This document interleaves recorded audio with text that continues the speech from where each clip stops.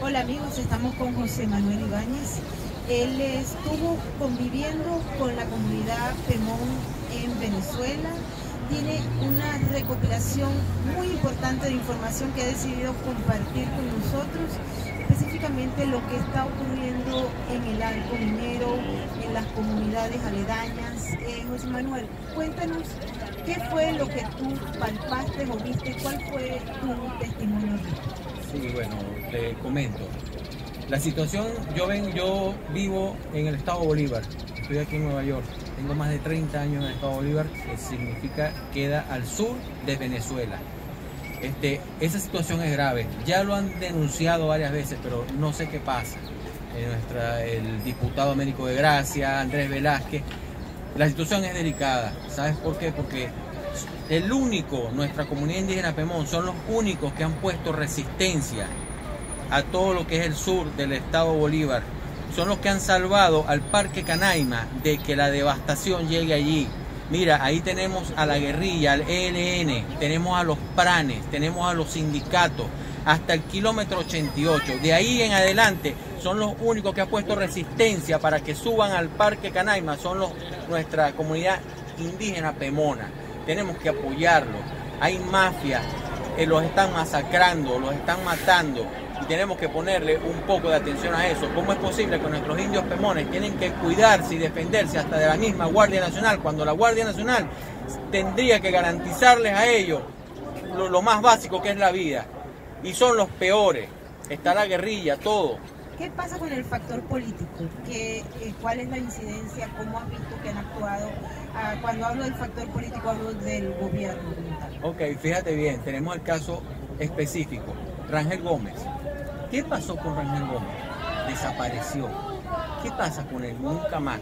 Óigame esto, pueblo de Venezuela, en especial Estado Bolívar, prohibido olvidar. ¿Qué pasó con Rangel Gómez? ¿Dónde estás? Ahora sale Rangel Gómez después que devastó todo lo que hizo en Estado Bolívar y ahora mira, queda justo. ¿Quién es justo? Otro político más del régimen del gobierno que está saqueando el Estado Bolívar, está matando a los pemones y los quiere, los quiere desplazar, los quieren sacar de su, de su tierra, de donde ellos son, porque los usurpadores, si al caso vamos, somos nosotros que nos estamos metiendo en su tierra, los estamos usurpando, son a ellos.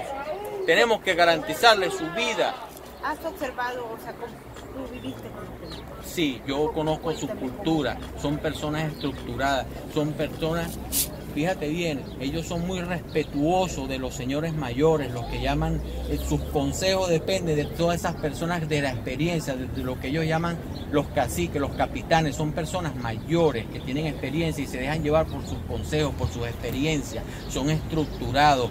Mira, este, yo a veces pienso que si nosotros nos dejáramos guiar por la cultura pemona, Venezuela fuera una potencia, aunque tú no lo creas. Eh, definitivamente. ¿Qué mensaje lo pone al, al recibiste alguna información de lo ocurrido ayer en, Venezuela en relación al asesinato y a la violación de los derechos de los indígenas venezolanos?